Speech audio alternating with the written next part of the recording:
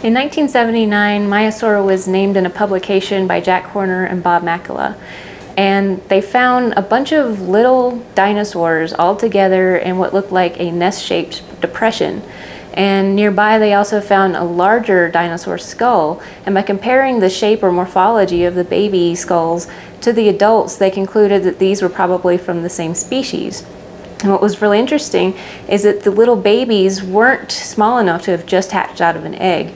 So the idea is that they stayed together in this nest-shaped depression and grew older there, and so they were cared for by the adults. And because this was this was an, an incredibly important find, it was the first time that evidence of parental care in dinosaurs had ever really been um, put forward and hypothesized.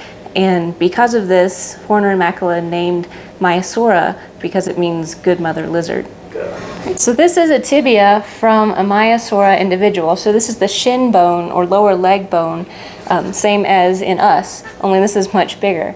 And what I do is I study the bone fossil or fossil bone microstructure of um, long bones such as this tibia. And what I do is examine what's inside the bone.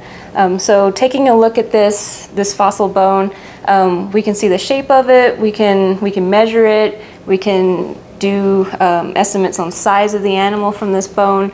But what I'm more interested in is what's inside the bone because by looking at the bone on the microstructural level or the microscopic level, we can actually determine things like how fast the animal grew, how old it was when it died, was it skeletally mature? Had it stopped growing when it died, or was it still growing? Was it a, a juvenile? Um, and we do this in large part by looking at the bone tissue organization as well as the growth rings. Um, every animal alive today, if it takes more than a year to grow up, has growth rings, just like tree rings. So you can count those to figure out how old the animal was when it died. And in order to access this information, I take a bone like this tibia and I make a, a small section. I take a chunk out of the bone shaft. And when I do that, I eventually uh, polish it down so thin that light can pass through and you end up with what we call a thin section slide. And so what you're seeing here, all the brown is bone, and the middle, this white spot, this would be where the marrow cavity was. And when I look at this through a microscope, I can see all the tiny bone microstructures that were there in real life, they've been fossilized as well. So by looking at those and interpreting them using modern bones for comparison, I can then make inferences on how this dinosaur lived and died.